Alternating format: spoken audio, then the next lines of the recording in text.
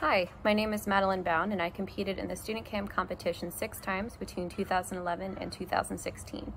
My first documentary won third place and it was entitled Math Education at the Crossroads. This was followed by a second place for Votes for Women, an honorable mention for Dear Mr. President Made in America, a second place for Student Loan Debt, a Burden on America's Scholars, and lastly a second place for When the House Becomes a Home, which was about incumbent politicians and potential term limits in the United States.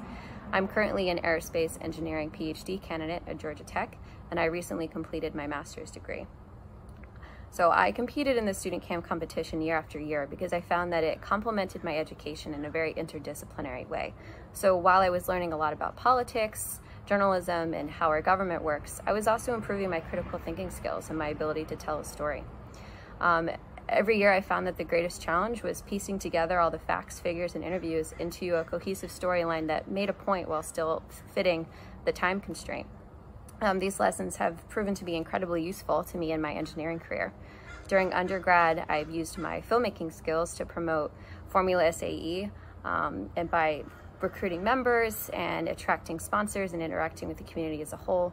Um, and then in grad school, I've continued to keep a hand in filmmaking um, by working with the Navigating New Space web series, uh, which is part of the Matthew Isakowitz Fellowship.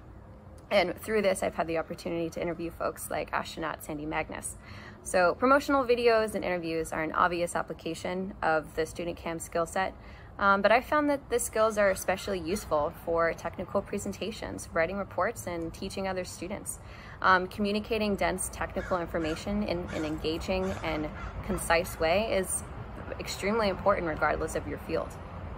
Um, so I highly recommend that students participate in the StudentCam competition regardless of their plans after school because the skills that you acquire are universal and absolutely transferable.